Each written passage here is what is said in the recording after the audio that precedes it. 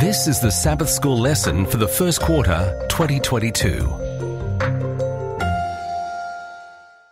Welcome to Lesson 5 Jesus, the Giver of Rest, ready for teaching on January 29. It's from the series In These Last Days, The Message of Hebrews, authored by Dr. Felix Cortez, Associate Professor of New Testament Literature in the Seventh day Adventist Theological Seminary at Andrews University. And I'm your reader for today, Dr. Percy Harrold. Sabbath afternoon, January 22. Before we start, let's pray. Our Heavenly Father, we thank you for your word. It comes to us in so many different translations and in so many different languages. But the language that it speaks is that of love and of the rest that we find in Jesus Christ. And as we open your word this week, we pray your Holy Spirit will guide us and bless us. May we understand more your love for us. May we share that love with those about us. And today I'd like to pray for people who are having struggles with their health, people who are having struggles with their relationships, and those who are having struggles with their faith. I pray, Lord, that through this lesson that each of us may be inspired, each of us may find Jesus anew, and that we may follow him more closely. We pray in Jesus' name. Amen. Our memory text this week is Hebrews chapter 4 and verse 9. There remains therefore a rest for the people of God. Let's read that again. Hebrews 4, verse 9. There remains therefore a rest for the people of God. Hebrews chapter 1 and 2 focuses on the enthronement of Jesus as the ruler and liberator of God's people. Hebrews chapters 3 and 4 introduce Jesus as the one who will provide rest for us. This progression makes sense once we remember that the Davidic covenant promised that God would give the promised king and his people rest from their enemies. Let's read about that in 2 Samuel 7, verses 10 and 11. Moreover, I will appoint a place for my people Israel, and will plant them, that they may dwell in a place of their own, and move no more. Nor shall the sons of wickedness oppress them any more, as previously since the time that I commanded judges to be over my people Israel, and have caused you to rest from all your enemies. Also the Lord tells you that he will make you a house. This rest is available to us now that Jesus is seated at the right hand of God. Hebrews describes the rest both as a rest that belongs to God and as a Sabbath rest in Hebrews 4 verses 1 through to 11. Therefore, since a promise remains of entering his rest, let us fear lest any of you seem to come short of it. For indeed the gospel was preached to us as well as to them, but the word which they heard did not profit them, not being mixed with faith in those who heard it. For we who have believed do enter that rest, as he has said, So I swore in my wrath, they shall not enter my rest, although the works were finished from the foundation of the world. For he has spoken in a certain place of the seventh day in this way, and God rested on the seventh day from all his works, and again in this place they shall not enter my rest. Since therefore it remains that some must enter it, and those to whom it was first preached did not enter because of disobedience, again he designates a certain day, saying in David, Today, after such a long time, as it has been said, Today, if you will hear his voice, do not harden your hearts. For if Joshua had given them rest, then he would not afterward have spoken of another day. There remains therefore a rest for the people of God. For he who has entered his rest has himself also ceased from his works as God did from his. Let us therefore be diligent to enter that rest, lest anyone fall according to the same example of disobedience. God made this rest, which was his, available to Adam and Eve. The first Sabbath was the experience of perfection with the one who made that perfection possible. God also promises a Sabbath rest because true Sabbath observance embodies the promise that God will bring that perfection back. When we keep the Sabbath, we remember that God made perfection provision for us when he created the world and when he redeemed it at the cross. True Sabbath observance, however, besides first and foremost pointing us back to creation, offers us a foretaste in this imperfect world of the future that God has promised.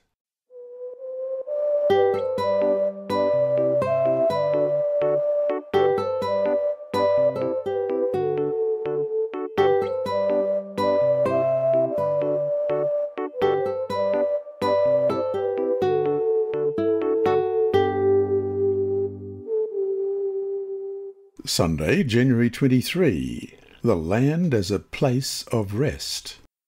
Read Genesis chapter 15, verses 13 to 21. What did God promise Abraham? Then he said to Abram, Know certainly that your descendants will be strangers in a land that is not theirs, and will serve them, and they will afflict them four hundred years. And also the nation whom they serve I will judge.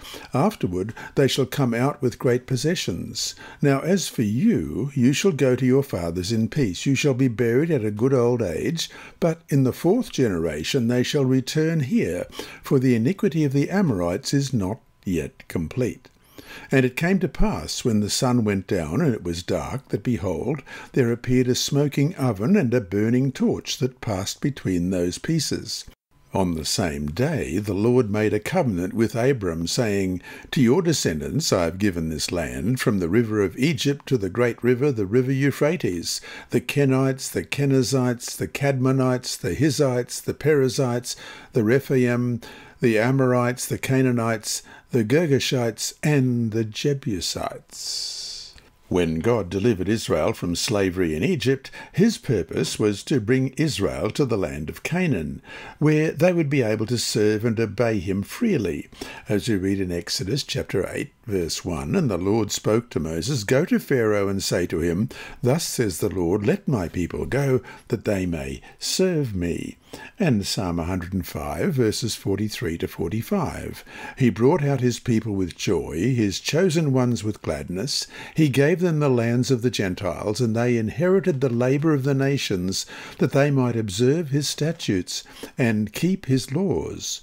Praise the Lord including enjoying the Sabbath rest that Pharaoh had prohibited in Exodus 5 5. And Pharaoh said, Look, the people of the land are many now, and you make them rest from their labour.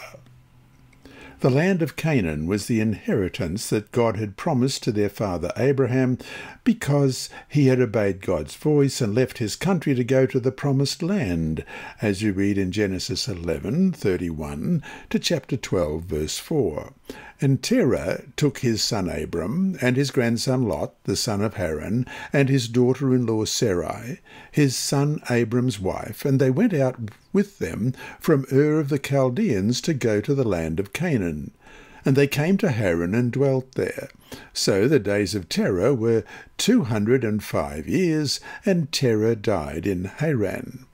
Now the Lord had said to Abram, Get out of your country from your family and from your father's house to a land that I will show you. And I will make you a great nation. I will bless you and make your name great, and you shall be a blessing.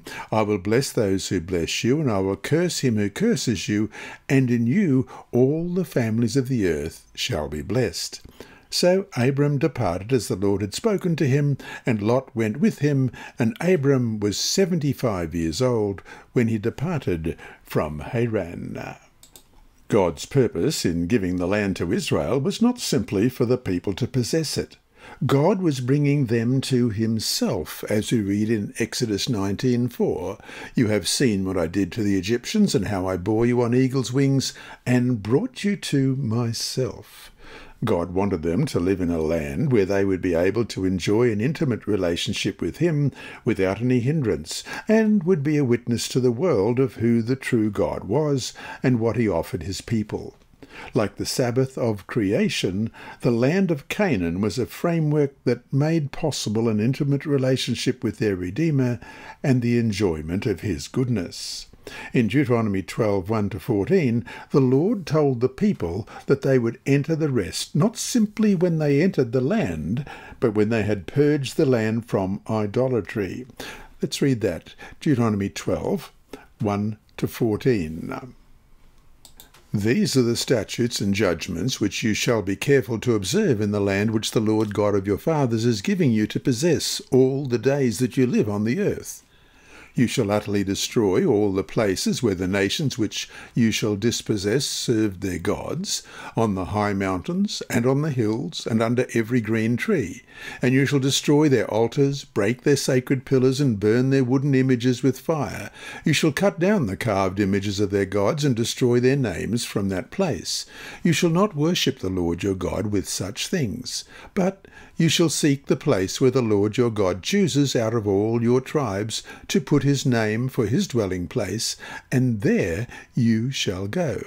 There you shall take your burnt offerings, your sacrifices, your tithes, the heave offerings of your hand, your vowed offerings, your freewill offerings, and the firstborn of your herds and flocks. And there you shall eat before the Lord your God, and you shall rejoice in all to which you have put your hand, you and your households, in which the Lord your God has blessed you.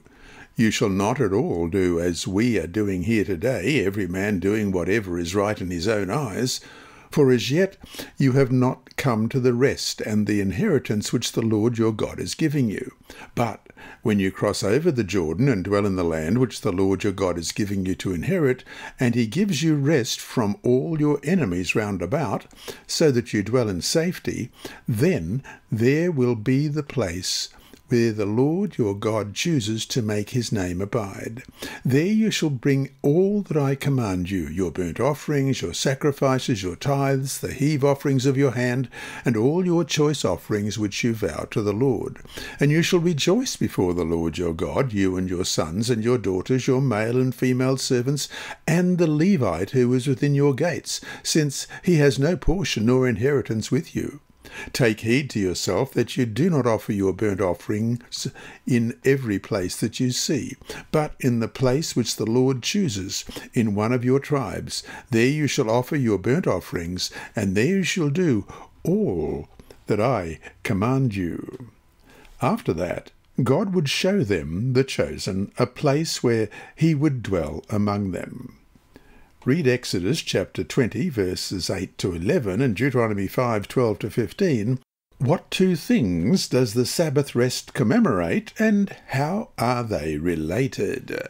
First of all, Exodus chapter 20, verses 8 to 11. Remember the Sabbath day to keep it holy. Six days you shall labour and do all your work, but the seventh day is the Sabbath of the Lord your God. In it you shall do no work, you, nor your son, nor your daughter, nor your male servant, nor your female servant, nor your cattle, nor your stranger who is within your gates. For in six days the Lord made the heavens and the earth, the sea, and all that is in them, and rested the seventh day. Therefore the Lord blessed the Sabbath day and hallowed it. And Deuteronomy 5, beginning at verse 12. Observe the Sabbath day to keep it holy, as the Lord your God commanded you. Six days you shall labour and do all your work, but the seventh day is the Sabbath of the Lord your God.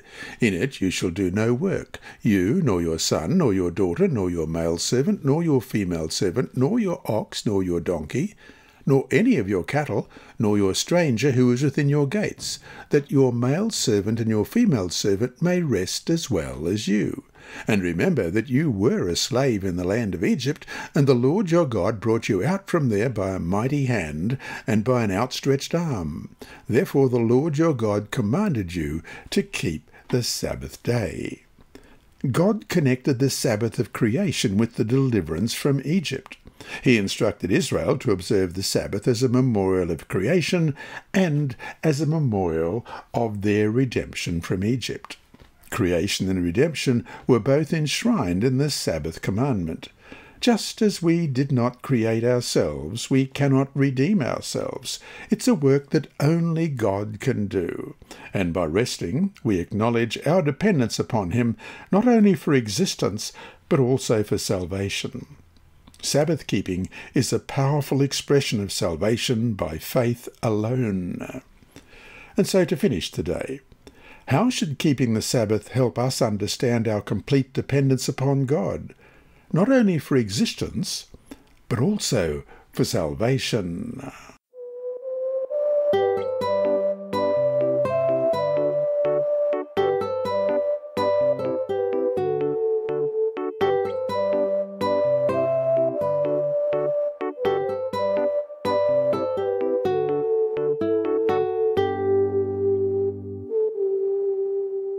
Monday, January 24. Because of unbelief.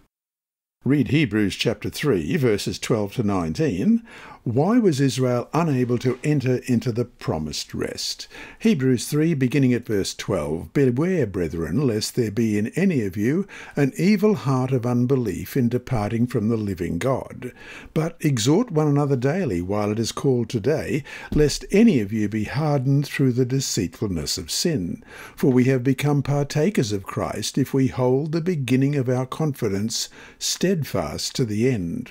While it is said, Today, if you will hear his voice, do not harden your hearts as in the rebellion. For who, having heard, rebelled? Indeed, was it not all who came out of Egypt, led by Moses? Now with whom was he angry forty years? Was it not with those who sinned, whose corpses fell in the wilderness? And to whom did he swear that they would not enter his rest, but to those who did not obey? So we see that they could not enter in because of unbelief. The sad story is that those who were delivered from Egypt were unable to enter into the rest that God had promised them. When the Israelites arrived at Kadesh Barnea, at the point of the promised land, they lacked the faith that they needed. Numbers 13 and Numbers 14 explain that the Israelite spies brought to the people of Israel a bad report of the land in Numbers 13:32. They affirmed that the land was good, but they warned that the inhabitants were strong and the cities were fortified and that they would not be able to conquer it.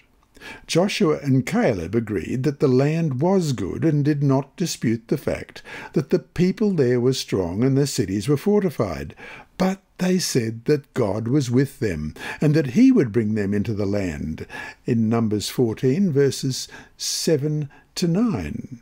And that reads, And they spoke to all the congregation of the children of Israel, saying, The land we pass through to spy out is an exceedingly good land. If the Lord delights in us, then he will bring us into this land and give it to us, a land which flows with milk and honey. Only do not rebel against the Lord, nor fear for the people of the land, for they are our bread. Their protection has departed from them, and the Lord is with us. Do not fear them. Yet the people who saw God destroy Egypt through plagues in Exodus chapter 7 through to chapter 12, annihilate Pharaoh's army in the Red Sea in Exodus 14, and provide bread from heaven in Exodus 16, and water from the rock in Exodus 17, as well as manifest his continuing presence and guidance through the cloud in Exodus 40, verses 36 to 38, failed to trust in him now. Exodus 40, verses 36 to 38. Whenever the cloud was taken up from above the tabernacle, the children of Israel would go onward in all their journeys. But if the cloud was not taken up, then they did not journey till the day that it was taken up. For the cloud of the Lord was above the tabernacle by day, and fire was over it by night, in the sight of all the house of Israel, throughout all their journeys. It is a tragic irony that the generation who saw such mighty displays of God's power became a symbol of faithlessness, as we read in Nehemiah chapter 9, verses 15 to 17. You gave them bread from heaven for their hunger, and brought them water out of the rock for their thirst, and told them to go in to possess the land which you had sworn to give them. But they and our fathers acted proudly, hardened their necks, and did not heed your commandments. They refused to obey, and they were not mindful of your wonders that you did among them. But they hardened their necks, and in their rebellion they appointed a leader to return to their bondage. But you are God, ready to pardon, gracious and merciful, slow to anger, abundant in kindness, and did not forsake them. And then in Psalm 106, verse 24 to 26, then they despised the pleasant land. They did not believe his word, but complained in their tents, and did not heed the voice of the Lord. Therefore he raised his hand in an oath against them to overthrow them in the wilderness. And 1 Corinthians chapter 10, verses 5 to 10. But with most of them God was not well pleased, for their bodies were scattered in the wilderness. Now now these things became an example to the intent that we should not lust after evil things as they also lusted, and do not become idolaters as were some of them. As it is written, the people sat down to eat and drink and rose up to play nor let us commit sexual immorality as some of them did, and in the one day twenty three thousand fell, nor let us tempt Christ as some of them also tempted and were destroyed by serpents, nor complain as some of them also complained and were destroyed by the destroyer. God promises his children gifts that are beyond human reach. That is why they are based on grace and are accessible only through faith. Hebrews 4 2 explains that the promise Israel received was of no value to them because they did not share the faith of those who obeyed. Israel travelled to the borders of the Promised Land as a people. When the people were faced with contradictory reports, they identified with those who lacked faith. Faith, or lack of it, is contagious. That is why Hebrews admonishes its readers to exhort one another in Hebrews 3:13, to stir up one another to love and good works in chapter 10 verse 24, and to see to it that no one fails to obtain the grace of God in Hebrews 12 verse 15. And so to finish today, in what ways can you help build the faith of fellow believers? How can you make sure that you never say or do anything that could weaken another's faith?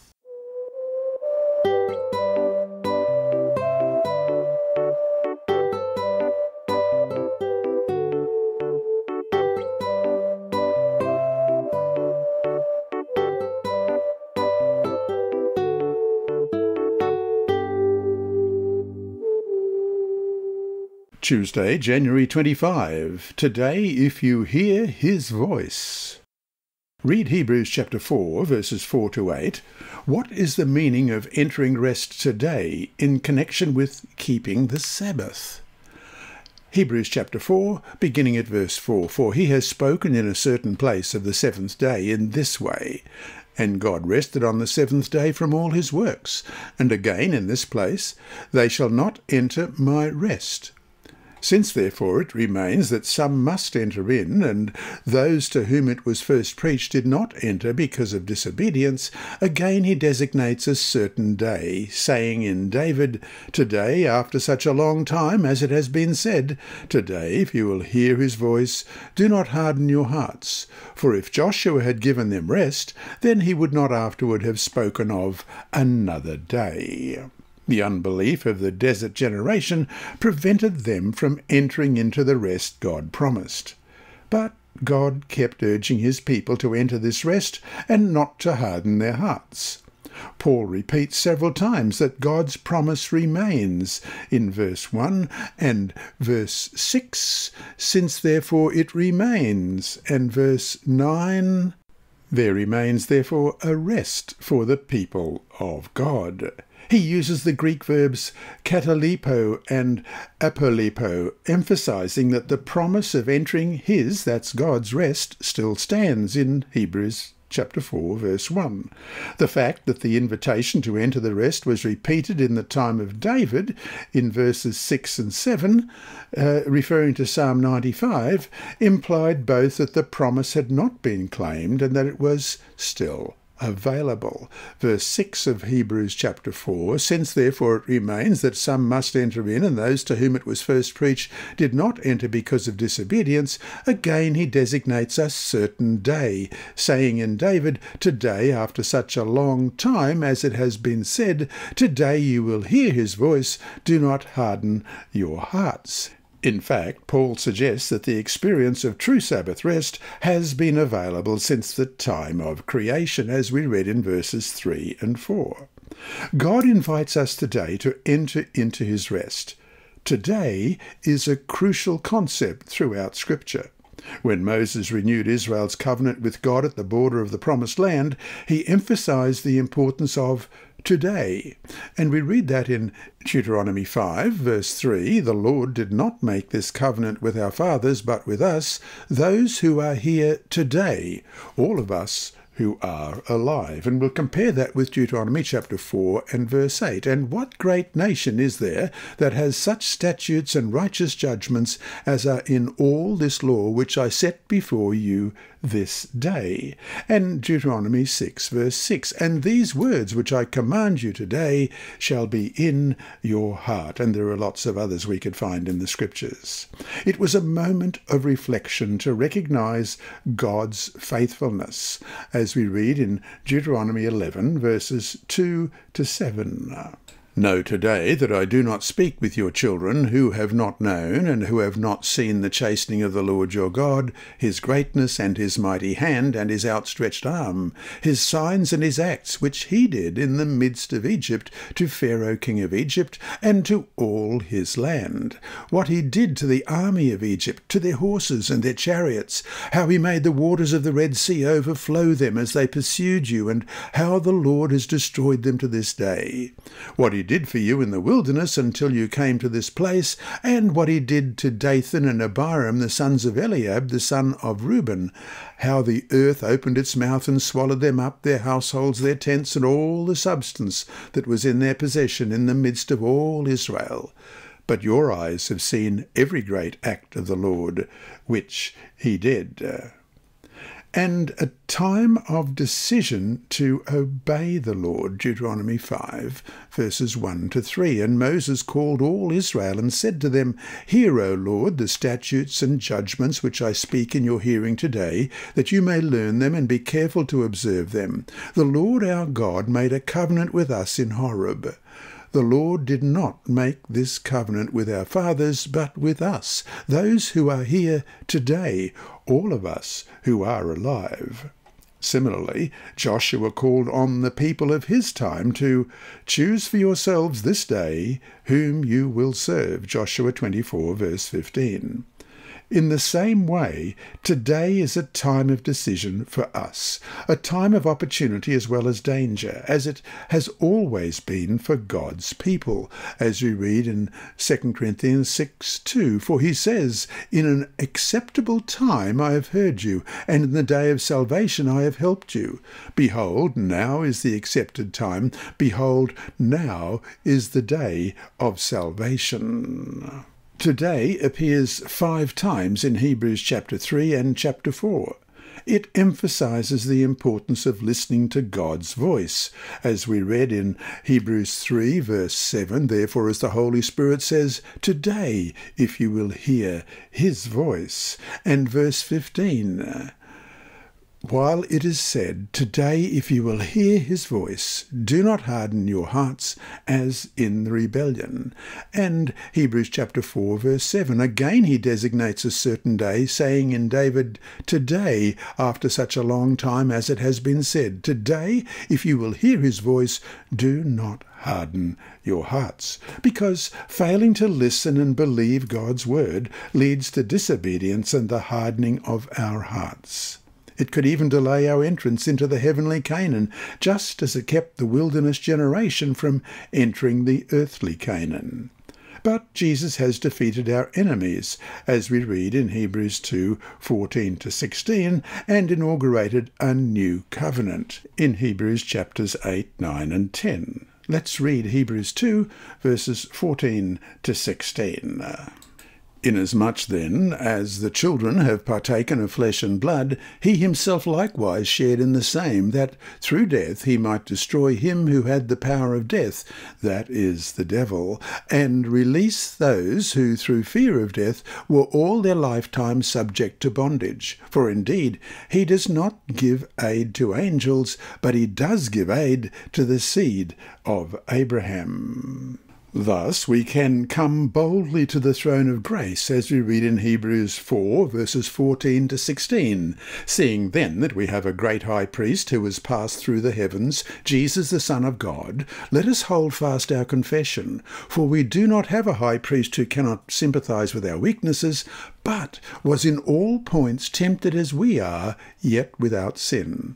Let us therefore come boldly to the throne of grace, that we may obtain mercy and find grace to help in time of need.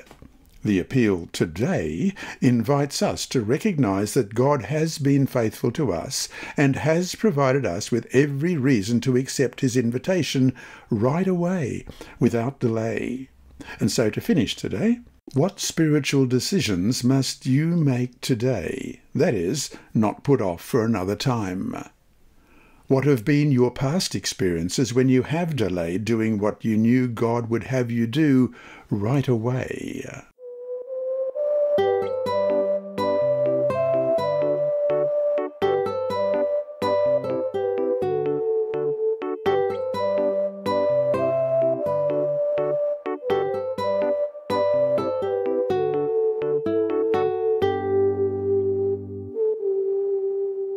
Wednesday, January 26. Entering into his rest.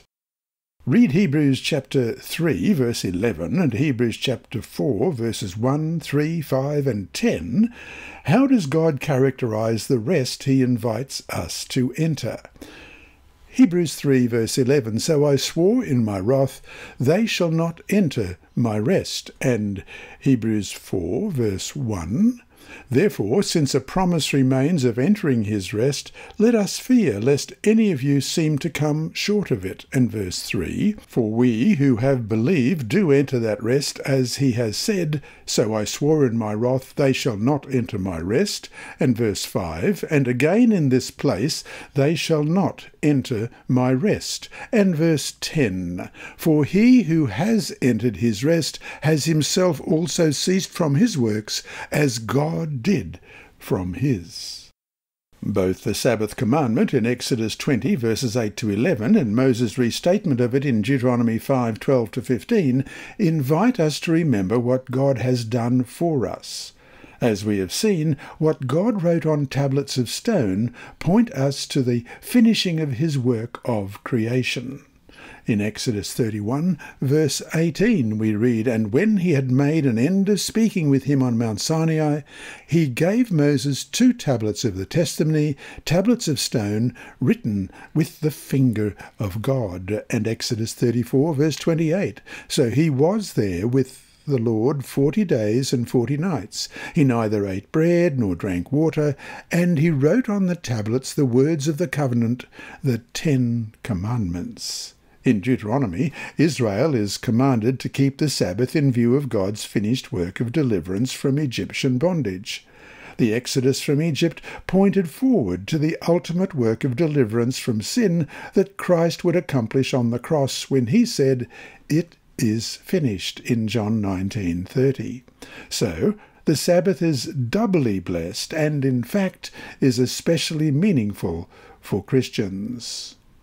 Read Hebrews chapter 4, verses 9 to 11 and verse 16. What are we called to do? Hebrews 4, beginning at verse 9. There remains therefore a rest for the people of God, for he who has entered his rest has himself also ceased from his works as God did from his. Let us therefore be diligent to enter that rest, lest anyone fall according to the same example of disobedience. And then verse 16 Let us therefore come boldly to the throne of grace, that we may obtain mercy and find grace to help in time of need. The Sabbath rest celebrates the fact that God ended or finished his work of creation, as we read in Genesis chapter 2, verses 1 to 3. Let's read that. Thus the heavens and the earth and all the host of them were finished, and on the seventh day God ended his work which he had done, and he rested on the seventh day from all his work which he had done. Then God blessed the seventh day and sanctified it, because in it he rested from all his work which God had created and made. And Exodus chapter 20, verses 8 to 11. Remember the Sabbath day to keep it holy. Six days you shall labour and do all your work, but the seventh seventh day is the Sabbath of the Lord your God. In it you shall do no work, you, nor your son, nor your daughter, nor your male servant, nor your female servant, nor your cattle, nor your stranger who is within your gates. For in six days the Lord made the heavens and the earth, and the sea, and all that is in them, and rested the seventh day. Therefore the Lord blessed the Sabbath day, and hallowed it or redemption, as we read in Deuteronomy chapter 5, verses 12 to 15. Observe the Sabbath day to keep it holy, as the Lord your God commanded you. Six days you shall labour and do all your work, but the seventh day is the Sabbath of the Lord your God.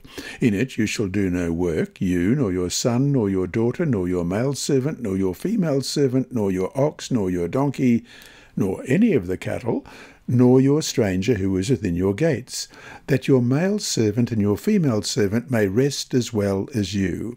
And remember that you were a slave in the land of Egypt, and the Lord your God brought you out from there by a mighty hand and by an outstretched arm.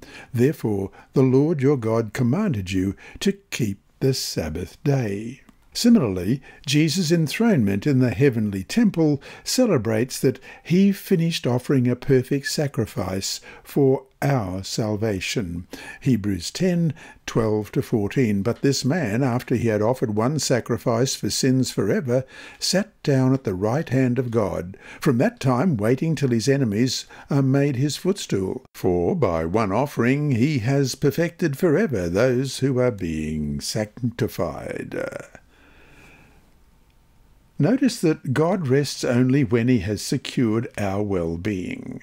At creation, God rested when he had finished the creation of the world. Later on, God rested in the temple only after the conquest of the land he had promised Abraham was completed through the victories of David and Israel lived in safety, as we read in 1 Kings chapter 4, verse 21 to 25. So Solomon reigned over all kingdoms from the river to the land of the Philistines as far as the border of Egypt. They brought tribute and served Solomon all the days of his life. Now Solomon's provision for one day was thirty cors of fine flour, sixty cors of meal, ten fatted oxen, twenty oxen from the pastures, and one hundred sheep, besides deer, gazelles, roebucks, and fatted fowl. For he had dominion over all the region on this side of the river from Tiphsah even to Gaza, namely over all the kings on this side of the river, and he had peace on every side all around him. And Judah and Israel dwelt safely, each man under his vine and his fig tree, from Dan as far as Beersheba all the days of Solomon. And we'll compare that with Exodus 15, verses 18 to 21. The Lord shall reign for ever and ever.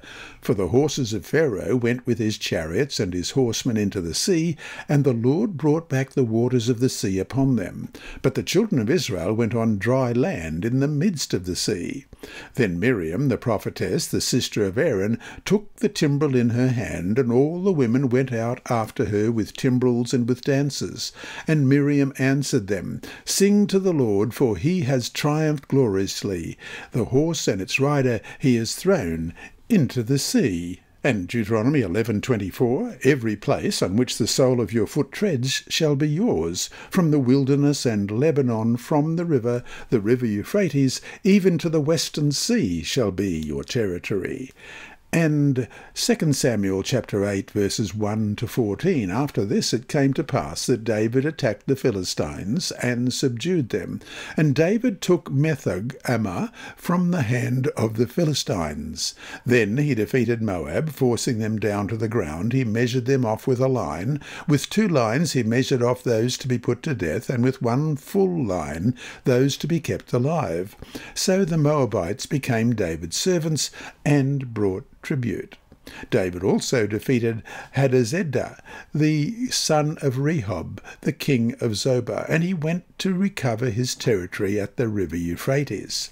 David took with him 1,000 chariots, 700 horsemen, and 20,000 foot soldiers. Also, David hamstrung all the chariot horses, except that he spared enough of them for 100 chariots.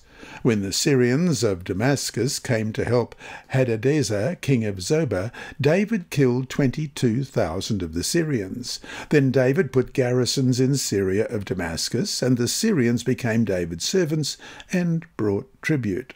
So the Lord preserved David wherever he went. And David took the shields of gold that had belonged to the servants of Hadadezer and brought them to Jerusalem. Also from Betah and from Berothai, cities of Hadadezer, King David took a large amount of bronze. When Toi, king of Hamath, heard that David had defeated all the armies of Hadadezer, then Toi sent Joram his son to King David to greet him and bless him, because he had fought against Hadadezer and defeated him.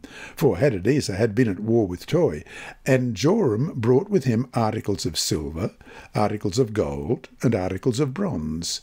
King David also dedicated these to the Lord, along with the silver and gold that he had dedicated from all the nations which he had subdued, from Syria, from Moab, from the people of Ammon, from the Philistines, from Amalek, and from the spoil of Hadadezer the son of Rehob, king of Zobah. And David made himself a name when he returned from killing 18,000 Syrians in the Valley of Salt. He also put garrisons in Edom. Throughout all Edom he put garrisons, and all the Edomites became David's servants. And the Lord preserved David wherever he went. God had a house built for himself only after Israel and the king had houses for themselves. And so to finish the day, how can we enter into his rest even now? That is, how can we, by faith, rest in the assurance of the salvation that we have in Christ and not in ourselves?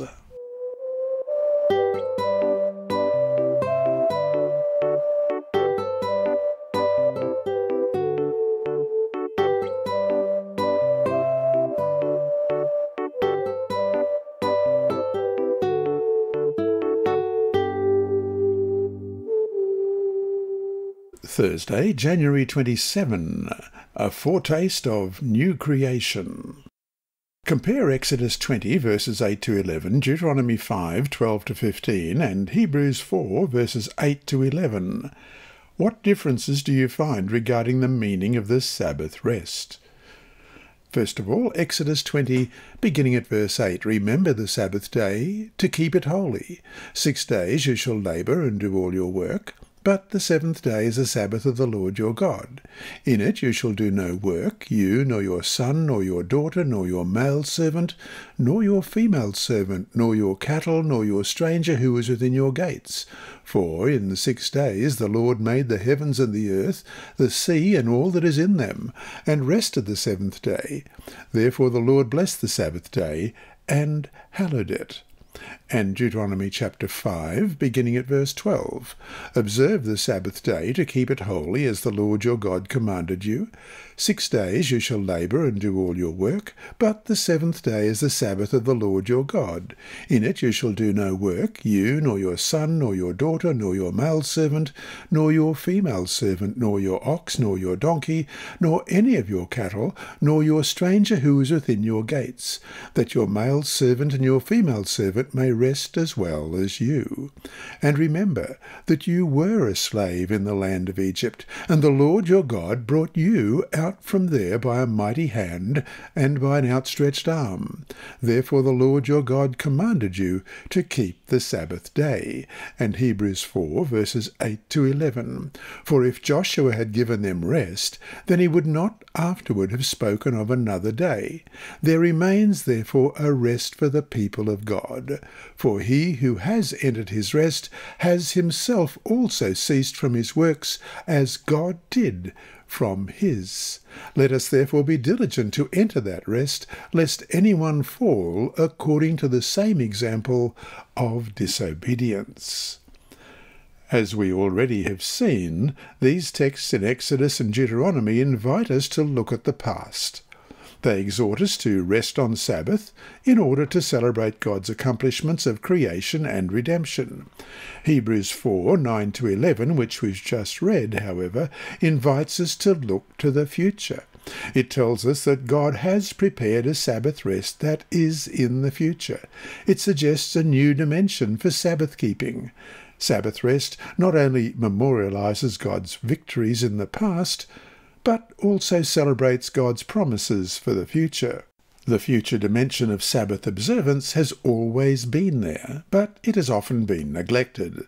After the fall, it came to imply the promise that God would one day restore creation to its original glory through the Messiah. God commanded us to celebrate his acts of redemption through Sabbath observance because Sabbath pointed forward to the culmination of redemption in a new creation. Sabbath observance is an anticipation of heaven in this imperfect world. This has always been clear in Jewish tradition. Life of Adam and Eve in James H. Charlesworth's edition of the Old Testament Pseudepigrapha, Volume 2, published in 1984, and on page 18, a work composed between 100 BC and 200 AD, said, The seventh day is a sign of the resurrection, the rest of the coming age. Another ancient Jewish source said, The coming age is the day which is holy Sabbath rest for eternity by Jacob Neusner in The Mishnah, a New Translation, published in 1988, page 873. And the author of Rabbi Akiba a later source said, Israel said before the Holy One, blessed be he, Master of the world, if we observe the commandments, what reward will we have?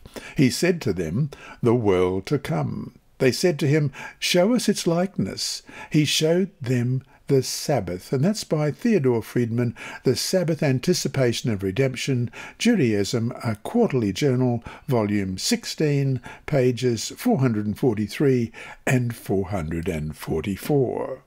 Sabbath is for celebration, for joy and thanksgiving. When we keep the Sabbath, we indicate that we believe God's promises, that we accept His gift of grace. Sabbath is faith alive and vibrant. As far as actions go, Sabbath observance is probably the fullest expression of our conviction that we are saved by grace through faith in Jesus. And so to finish today. How can we learn to keep the Sabbath in a way that indeed shows our understanding of what salvation by faith, apart from the deeds of the law, is about? How is resting on the Sabbath an expression of salvation by grace?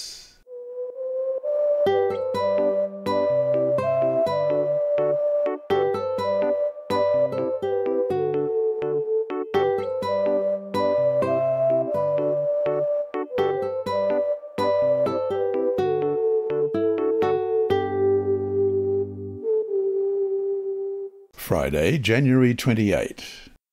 It is very significant that Paul in Hebrews used the Sabbath rest and not Sunday as a symbol of the salvation through grace that God offers us. The use of Sabbath rest in this way implies that Sabbath was cherished and observed by believers. From the second century AD forward, however, we find evidences of a decisive change in the Church. Sabbath observance ceased to be considered a symbol of salvation and was instead considered a symbol of allegiance to Judaism and the Old Covenant, one that had to be avoided. To keep the Sabbath became the equivalent of to Judaize. For example, Ignatius of Antioch, around AD 110, remarked, Those who lived according to the old order have found the new hope. They no longer observe the Sabbath, but the day of the Lord, the day our life was resurrected with Christ. And that's by Jacques B. Doukhan, Israel and the Church, Two Voices for the Same God, published in 2002, page 42. Similarly, Marcion ordered his followers to fast on Sabbath as a sign of rejection of the Jews and their God, and Victorinus did not want it to appear that he observed the Sabbath of the Jews, as in the book Israel and the Church we referenced yesterday, page 41 to 45. It was the loss of understanding of Sabbath observance as a symbol of salvation by grace that led to its demise in the Christian Church. Ellen White writes in The Desire of Ages, page 288 and 289, The Sabbath is a sign of God's power to make us holy, and it is given to all whom Christ makes holy. As a sign of his sanctifying power, the Sabbath is given to all who through Christ become a part of the Israel of God. The Sabbath points them to the works of creation as an evidence of his mighty power in redemption. While it calls to mind the lost peace of Eden, it tells of peace restored through the Saviour, and every object in nature repeats his invitation Come unto me, all ye who labour and are heavy laden, and I will give you rest. Matthew 11:28. And that brings us to our two discussion questions for this week. One, what is the relationship between Sabbath observance and justification by faith? And two, what is the difference between true observance of the Sabbath and a legalistic observance of the Sabbath? How can we not only know the difference, but also experience that difference in our own Sabbath observance?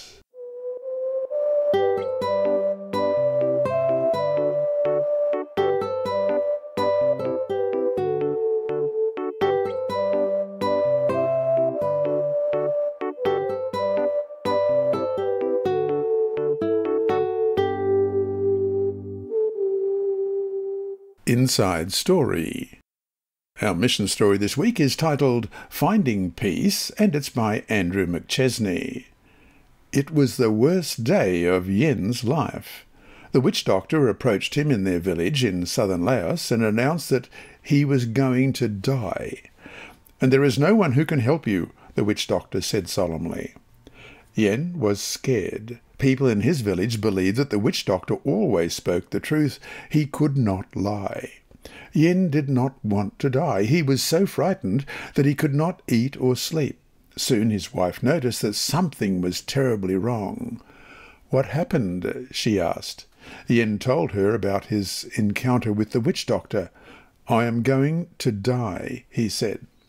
He didn't know what to do. His wife didn't know what to do. Then he heard about a small group of Christians who gathered on Saturdays to worship. He had never been inside a Christian church, but he decided to find out whether the Christians would ask their God to help him. Next Sabbath, Yin and his wife showed up at the Seventh day Adventist church. He told the church members about the witch doctor and his fear of dying. After listening, the members told him about Jesus. They said Jesus had the power not only to save him from the witch doctor's prediction of death, but also to offer him eternal life. In their Bibles was the promise, For God so loved the world that he gave his only begotten Son, that whoever believes in him should not perish, but have everlasting life. John 3.16 Yin was overjoyed when he heard about Jesus. He could claim the peace that only Jesus offers. Peace I leave with you, my peace I give to you, not as the world gives do I give to you. Let not your heart be troubled, neither let it be afraid. John 14:27. When he left the church, he was so happy that he could not keep the good news to himself. He eagerly shared the peace that Jesus had given him with other villagers. He walked home with a big smile on his face. It was the best day of his life. Today, Yin is alive and well, and he is attending the church where he first found Jesus. Thank you for your Sabbath School mission offerings that help spread the gospel to people in Laos and other countries of the Southern Asia Pacific Division, which will receive this quarter's 13th Sabbath offering. This mission story illustrates mission objective number two of the Seventh day Adventist Church's I Will Go strategic plan to strengthen and diversify Adventist outreach among unreached and underreached people groups and to non Christian religions. Learn more at iwillgo2020.org. This lesson was read by Dr. Percy Harrold for Christian Services for the Blind. Sponsored by the Sabbath School Department and distributed through Hope Channel Australia, this podcast is also redistributed by Hope Channel Germany, Christian Record Services for the Blind, and It Is Written. It is also available on SoundCloud and through multiple podcast distributors, including Apple iTunes. Remember, God is always faithful.